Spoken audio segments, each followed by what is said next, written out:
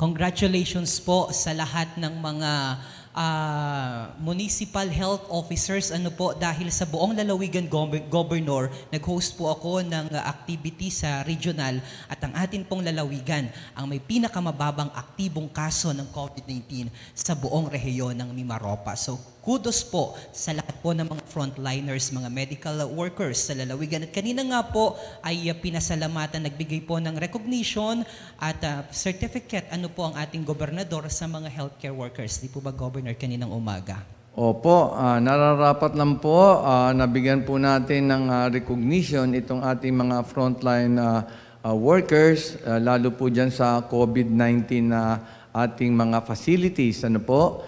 Alam po naman natin na sila po ay nakahantad sa virus mismo at ah, peligroso rin po sa kanilang buhay.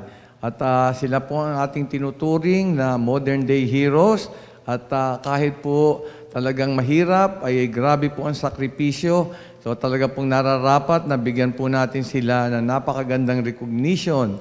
At atin pong ipaalam sa kanila ah, through letters or commendations na tayo po ay nagpapakita ng talagang matindi na ah, utang na loob sa kanila dahil po sa ating sa kanilang pangangalaga ng ating pong nahawa sa COVID.